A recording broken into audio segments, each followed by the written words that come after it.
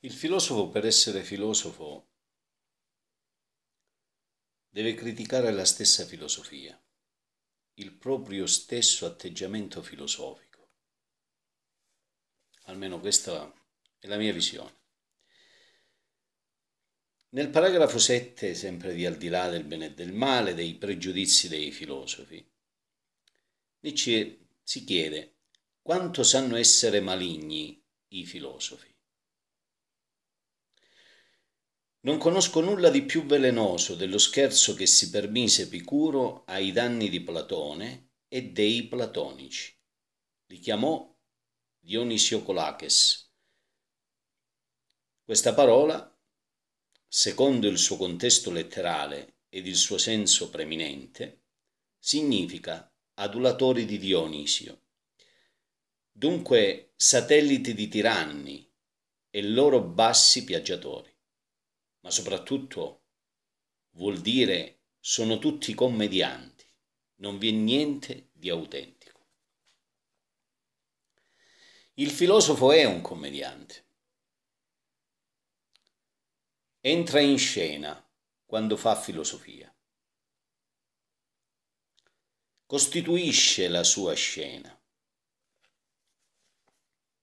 Prepara lo scenario del suo pensiero e diventa egli stesso attore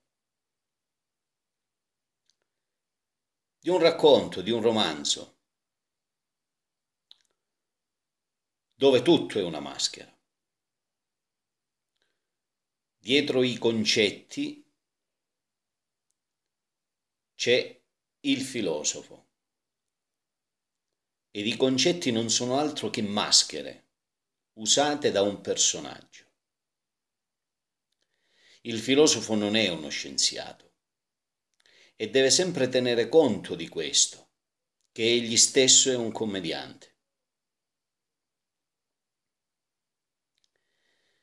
Continua Nietzsche, ed in quest'ultimo significato, commediante, sta proprio la frecciata, ed ecco la malignità, che Epicuro aveva scoccato contro Platone c'era qualcosa che indispettiva Epicuro. Lo indispettiva lo stile grandioso, la messa in scena, nella quale Platone con i suoi discepoli mostrava tanta abilità. Ed Epichero ed Epicuro invece nessuno.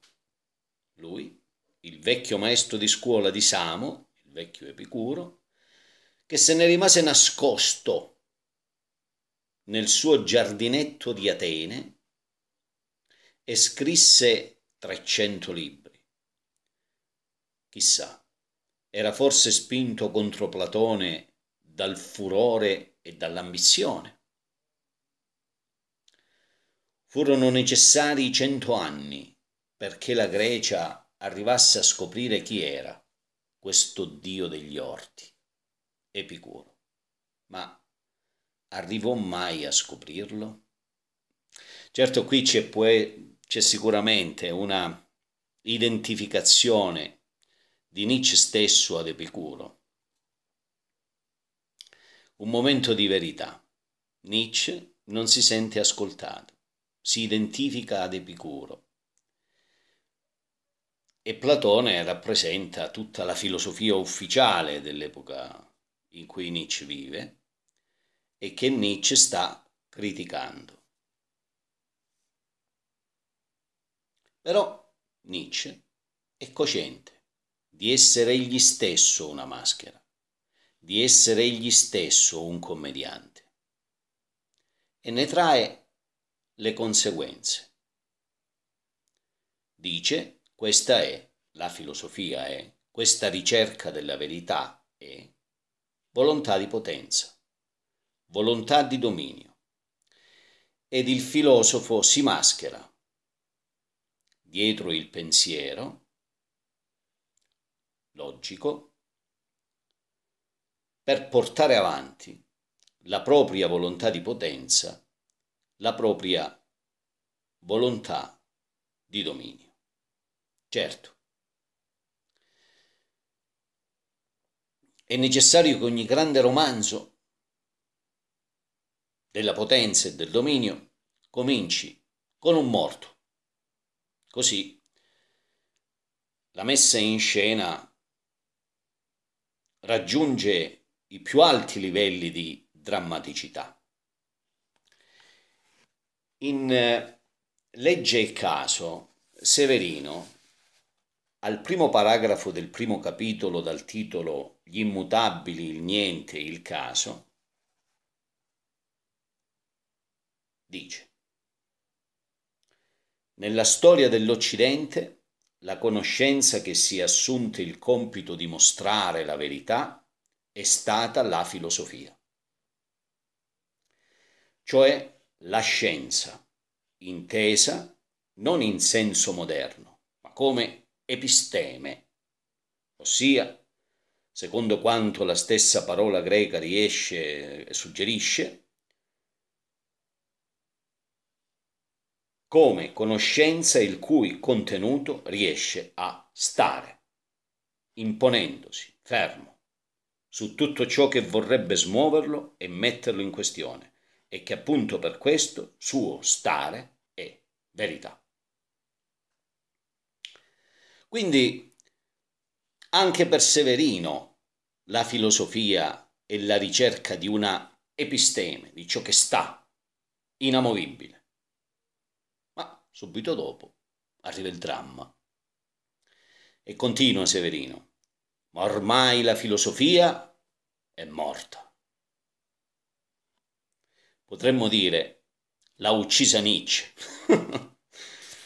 il sogno della verità definitiva ed incontrovertibile è finito, non solo per le forze che promuovono la costruzione della civiltà della tecnica, continua Severino, ma anche per tutte le forme di umanesimo, che sebbene alimentate dalla morte della filosofia, tuttavia si illudono di poter rivendicare i diritti dell'uomo contro la violenza perpetrata dal sapere scientifico e dalla tecnica.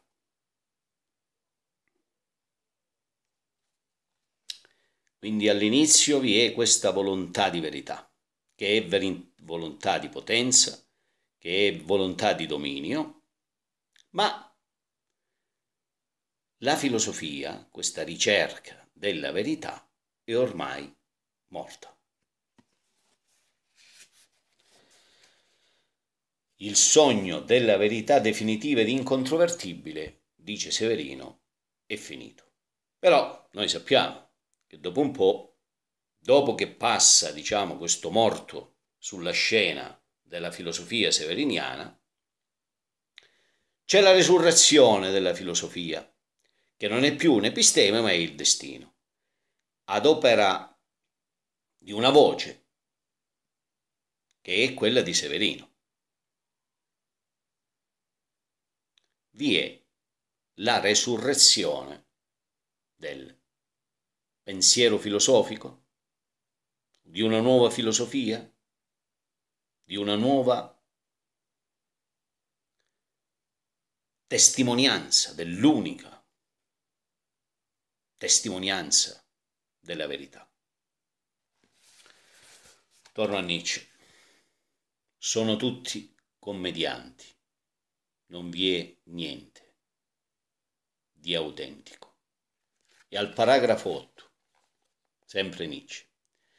C'è un punto in ogni filosofia in cui la convinzione del filosofo entra in scena.